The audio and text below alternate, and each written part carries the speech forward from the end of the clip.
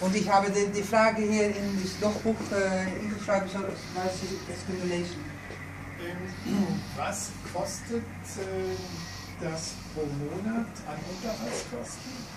Also Strom, Fischfutter, Ja, hier ähm,